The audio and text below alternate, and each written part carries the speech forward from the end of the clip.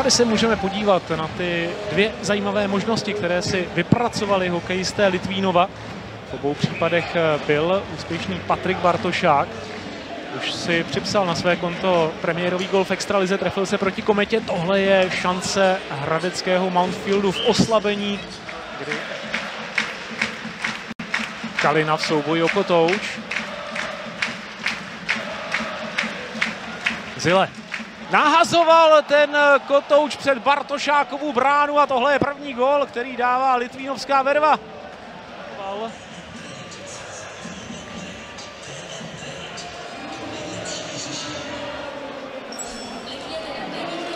Takhle vypálil Zile. Bartošák toho asi mnoho neviděl, přišla tam teč. A ta nasměrovala Kotouč za záda brankáře Mountfieldu HK. Litvínovských v tomto zápase z toho nebyla. Tady si Abdul dobře nabruslil do zajímavé pozice. Bartošák se tam natahoval lapačkou, ale z tému Kotouč vypadl.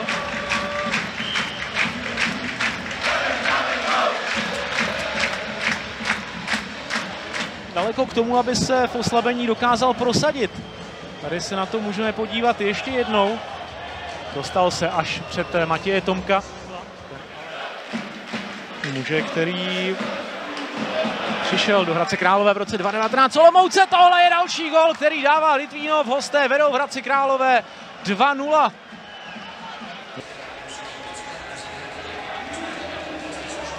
Na poprvé to nevyšlo, na podruhé už se ale dokázal prosadit litvínovský Nikolas Hlava. Tady možná uvidíme, že se hradeckému brankáři přihodilo. Podívat na tu obrovskou šanci Hradce Králové. Tady chybělo pár centimetrů k tomu, aby hradečtí Zigmund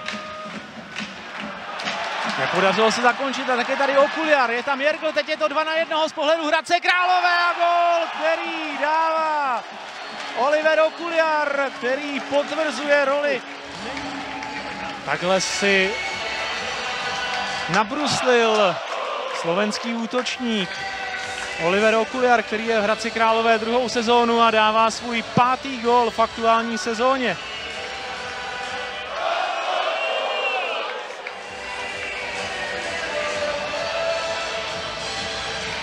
takže Kivia už spěchá na střídačku. A tohle je rána, která sice na první pokus v síti neskončila, teď už ale ano. Matěj Tomek nedokázal ten kotouč dostat pod kontrolu.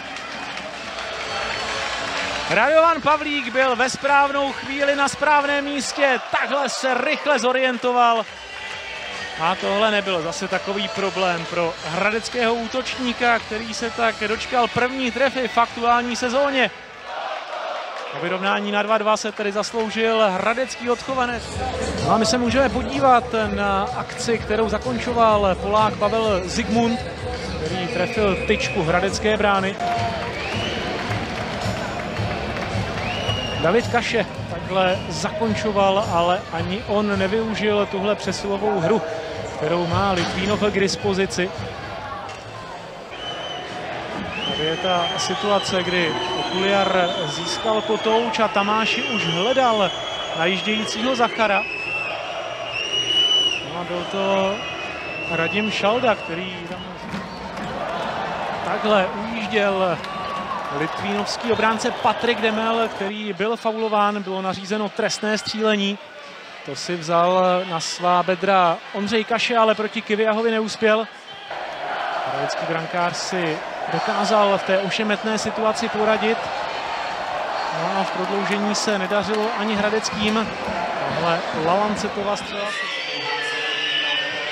A první samostatný nájezd je tady, takže Petr Koblasa nebo Henrik Keviaho. Kdo bude úspěšnější? Koblasa si dokázal poradit a Litvínov tak na samostatné nájezdy vede 1-0. Zahradec Králové jako první pojede Aleš Jergl.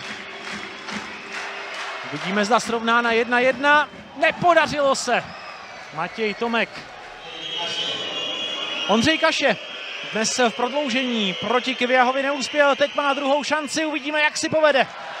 taky z tohohle souboje vychází jako vítěz hradecký brankář. Oliver Okuliar, to je další muž na holení v sestavě Hradce Králové. Okular také neuspěl, takže Litvínovští stále vedou. Teď je tady David Kaše na straně Litvínova. Kdo bude tedy úspěšnější? Tenhle gol bude platit. Takže David Kaše. A Litvínov je blízko k tomu, aby bral bonusový bod tady v Hradci Králové. Odvrátit to může Christof Lalancet. Ale Christof Lalancet stroskotal na... Tak Kerk nebo Kiviaho. William Kerk pálí mimo na řadě s číslem 2,90, 30-letý David Šťastný uspěje proti Matěji Tomkovi, to se nepovedlo, takže zápas končí